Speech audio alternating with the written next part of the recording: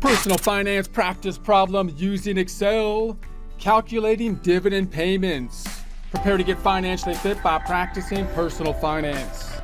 Here we are in our Excel worksheet. If you don't have access to it, that's okay because we'll basically build this from a blank sheet. But if you do have access, three tabs down below. Example, practice, blank, example, in essence being an answer key. Let's take a look at it now. We've got the information on the left. We're going to do our calculations on the right, calculating our quarterly dividends and our yearly dividends in a couple different ways. The second tab, having a pre-formatted worksheet so we can work through the practice problem with less Excel formatting. The third tab, basically a blank tab so we could practice the Excel formatting. If you don't have any of this, you could just open a blank worksheet, lay down the baseline formatting, which would look something like this. I would select the entire worksheet if I had a blank worksheet with the triangle, right click on the worksheet, format those cells. I usually lay down the baseline of the currency, currency I usually do, and then brackets, and red and no dollar sign, no decimals. I'm not going to hit OK, but just close it out. That's usually the starting point for me. Add the data on the left hand side. Format the cells as needed, including decimals for these cells. Make a skinny C column, and then we're good to go. So we've got the dividends. We're going to assume or imagine that we have dividends that are going to be paid out quarterly, remembering that dividends represent a corporation that's a separate legal entity paying the revenue generally out in the form of dividends to the stockholders, those being similar to, say, draws for sole proprietorship or partnership, except for the fact that they have to be the same for all the people, all the stocks out there, and therefore one individual stock cannot determine the dividends or get a different dividend than other stocks. So it has to be determined by the board of directors and the management. And oftentimes they're given out quarterly, not all the time. So different companies might have different uh, ways that they're going to be giving out dividends. And so we're going to imagine here that dividends are quarterly. You got the Q1 dividends on a per share basis, 33 cents. Q2 on a per share basis, Q3 on a per share basis, and Q4. Now remember, you might be looking at dividends of a company and try to predict what they're going to do in the future. Sometimes they might have some kind of stable strategy where they might be, you know, using lesser dividends in the front of the year because maybe they make more money in the end of the year or something like that or they might just be increasing the dividends and, and next year we could expect the dividends to be you know 61 cents hopefully in the following year but here we're just going to say okay well if i have 440 shares what are my dividends on a quarterly basis and how much dividends would i be getting for the year and we'll do a couple different ways we could do this calculation they can make it a little bit easier and it'll be practice for us to work with our Excel worksheets here. So we're to say, okay, let's do it quarter by quarter first. So I'm to say Q1, Q1 dividends, dividends, and let's make uh, column D a little bit wider here. And we'll make the headers for column D and E. So D1 to E1. Going to go to the home tab, going to go to the font group. I usually make those black and white. We'll make those black and the, the lettering, we'll make that white for our headers. And we're going to say the number of shares we have. I'm going to say equal, pulling this from our data set. Shares owned, I'm going to say equals in E1, or is this E2 equals? Scrolling down to the 440 and B7 and enter. So now we can change this number down here, of course, and it would change automatically. I'm going to undo that. Our data up top so we can have a dynamic worksheet. This is going to be our Q1 dividends per share. I'm just going to say equals, point to that Q1 dividend per share. This needs to be a little bit wider, it looks like to me. So I'm just going to take column uh, D and widen it up, widen it up and so we're going to say this then equals an E3 equals the 33.33. It says zero there because I got to format that cell, got to add some decimals to it, got to decimalize it. So we're going to go to the home tab, number group. No, that's not a word, but we're going to make it a word in case you're wondering. People get upset when I say stuff that aren't actual words. But some there's not enough words for stuff these days. Font group, I'm going to underline this and so we're going to then go down here and then we're going to say this is the Q1 dividend. Q1 dividend. Multiplying this out, we're just going to say, all right, if I have equal 440 shares and they're giving out 33 cents per share, that's going to give us 145. We can add a couple decimals just in case. Number group decimalize 145.20. Let's do the same thing for for the other three quarters, and then we'll see how we can do the calculation. You know, for for the year uh, a little bit more easily, adding them all together. So let's let's do the blue. I'm going to make this blue and bordered because that's our custom to do. And so I'm going to go up top and say this is going to be the bucket drop down. There's the blue I need, but if you don't have that, it's in the more colors. More colors. We need more colors. Standard wheel. I'm going to pick that one right there. Why? Because that's just what I do and I've I'm my ways have been set down and they're not changing unless I find so, okay. I'm going to make a skinny F column over here now and do the same thing. So I could go here and let's take the, and it might be better, it might be easier actually to go underneath. Let's do it underneath here. That might be better. So let's say this is going to be Q2. I'm changing up the formatting. Q2 dividends on the fly. As I'm flying, I'm doing this. You didn't even know I could fly. I could fly and change the formatting. Home. We're to go to the home tab, font group. We're to go to the to the bucket drop down, make this black and white, black and white, and then we're to go Q2 once again. We've got uh, the shares, and that's still to be the 440 and no change on Q2 dividend per share. I'm just to say equals the Q2 dividend per share equals the 33 cents. Now, notice we could do something fancy up here and just like copy the formatting here since it's the same kind of thing instead of reformatting it. Let's do the paintbrush to do that. We're saying I could see, I see I could do that. That makes things easier. Home tab, font, let's go to the paintbrush painter and just paintbrushy that right there. I'll just put it in the top cell. Boom, format done for us automatically. I'm just gonna put in Q2 dividend. It's trying to help me, but it's not. So I'm just gonna hit the space bar two times because I don't want that per share thing. This is the total dividend for Q2 quarter two. This is gonna be equal to the 440 times 33 cents. And there we have it. Let's do it for Q3. Q number three, that stands for quarter three dividends calculation. Once again, I could just format the whole thing off the bat, right off the bat.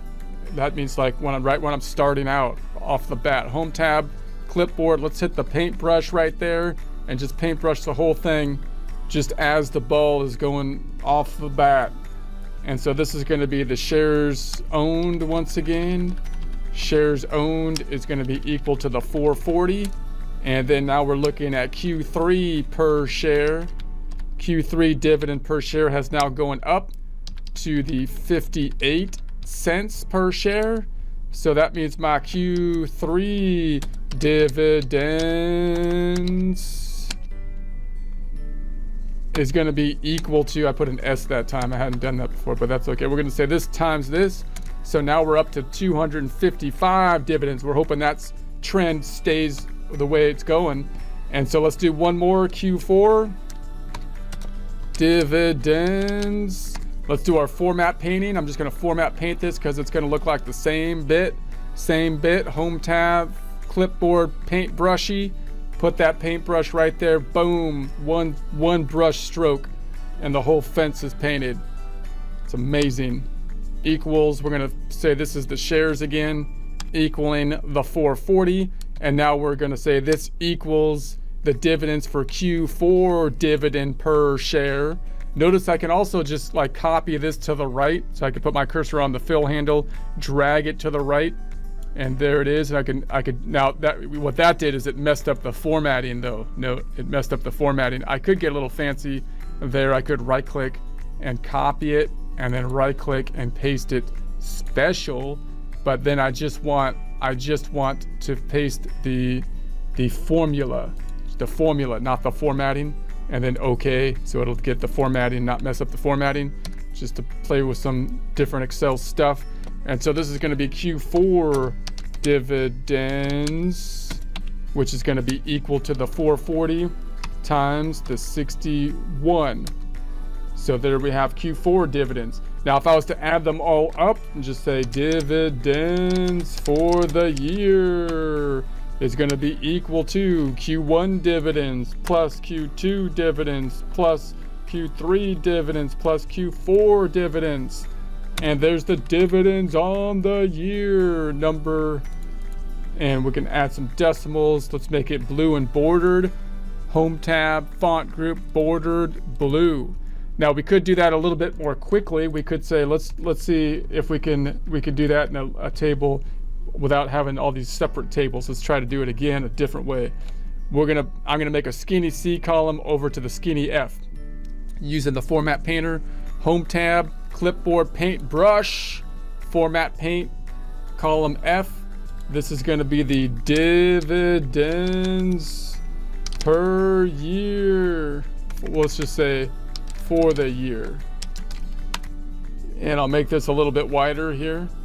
I'm gonna I'm gonna make from column uh, G1 to I1 and make that black and white with the font group bucket drop down black and white. And so I'm just gonna say this time I'm just gonna add up all the quarters dividends. So th this is gonna be the quarterly dividends per share brackets and I'll just add them all up. So I'm just gonna say this equals, notice I put a colon here, so we're gonna have a, a sub, a sub, a sub line down below indicated by the colon. I'll also indent it and I'll put a sub column just to practice our formatting. This will be equal to the Q1 dividends. And I could just copy that down to Q4, putting my cursor on the fill handle, dragging down to Q4, and then I could drag it to the right, and that'll actually pull in the numbers but they're not formatted. So now I'm going to select these cells to add some decimals, home tab, number group, decimalizing them twice, double decimalized. And then we're going to go down here and say home tab, font group, underline, and we'll say this now is going to be, I'll just copy this. I could say total dividends, but I'll just say copy, paste, double click, get rid of the colon, because now this is the this is the total of my subcategory I'm going to select these five, go to the Home tab, Alignment Indent, and then select this one again, Indent again, Home tab, Alignment Indent again.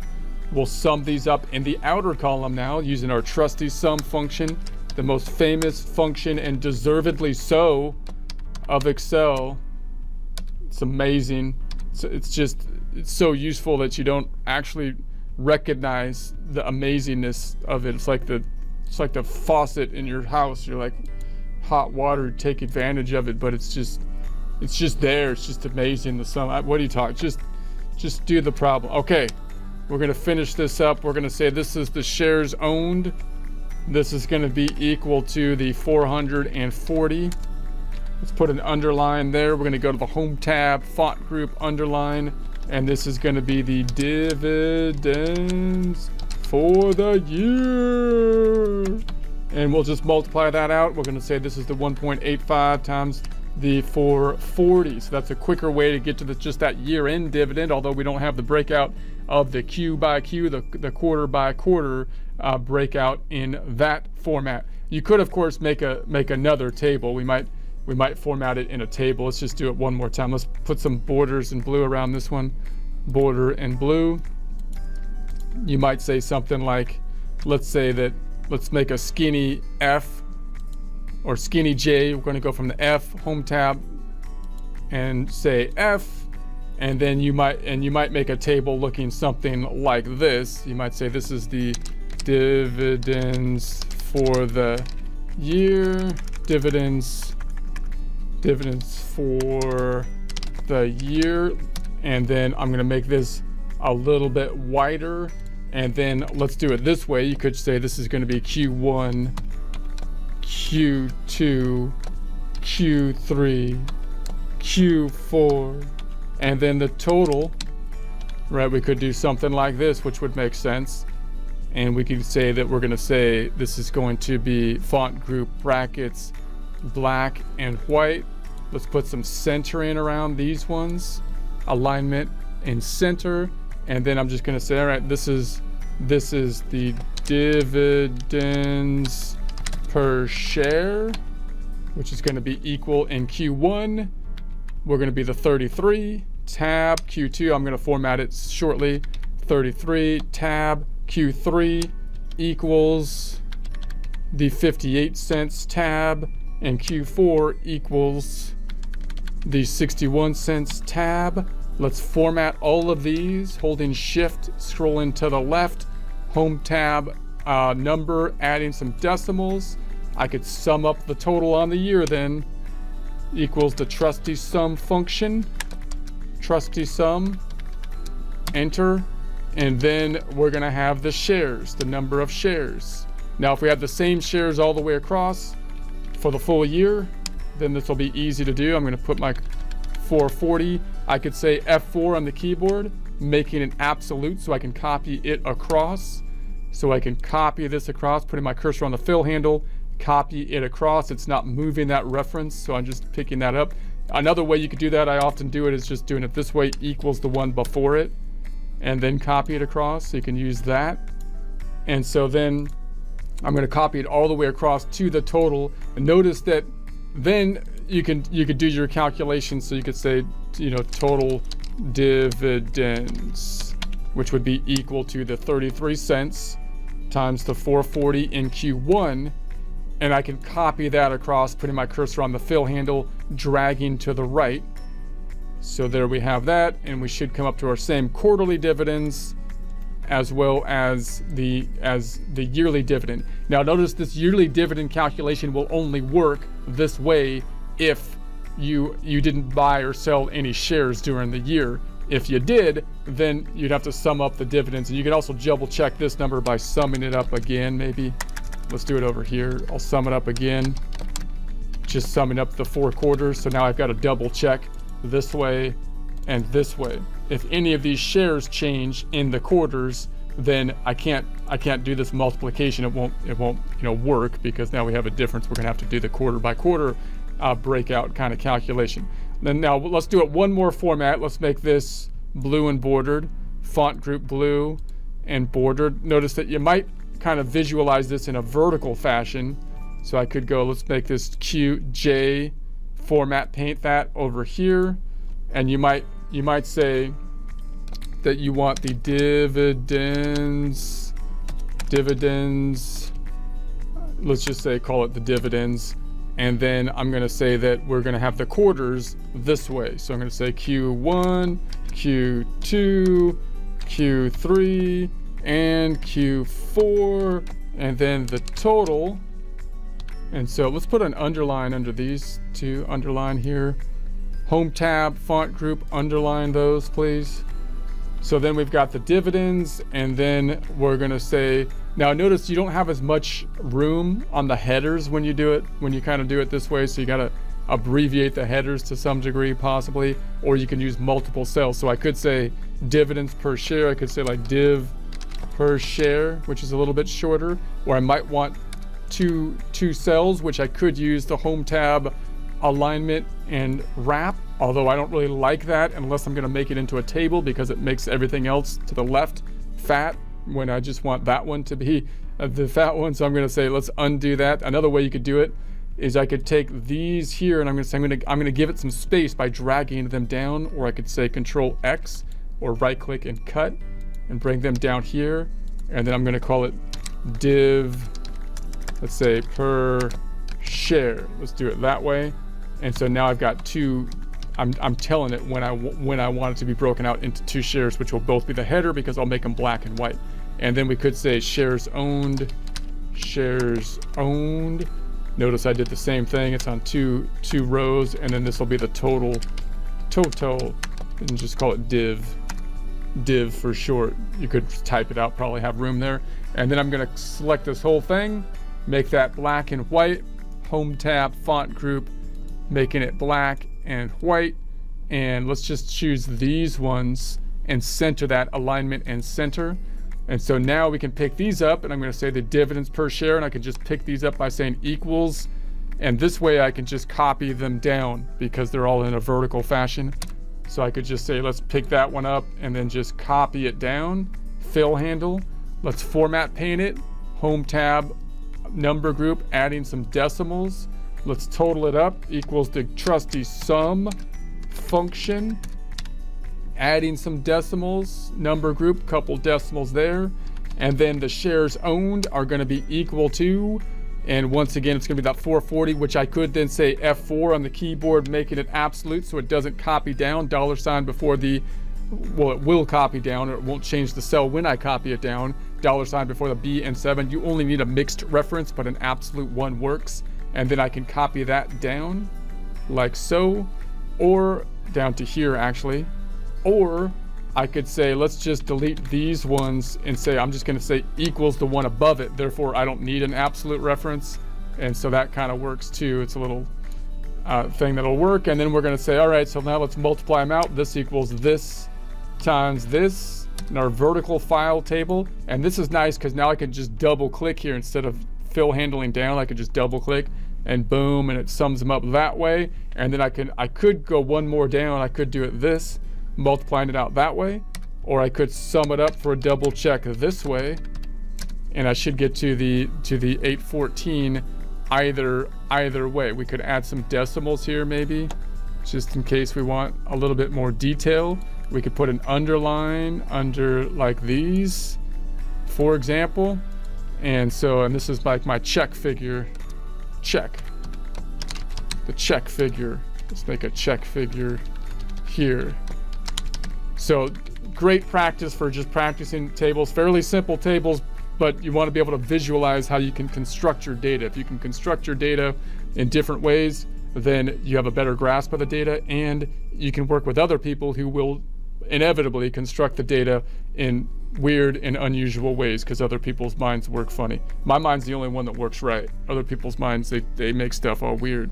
But then I, but then you got to figure it out because that's like, and that's fine as long as it works, right? I mean, home tab font group. We're gonna put some brackets around this. Let's put some blue. Let's let's do a spell check. See how many words I didn't spell right. Dividend. That's an abbreviation. Excel. That's not wrong. That's not wrong. I'm just gonna ignore that or change it. Did I change it? Okay, so there we go.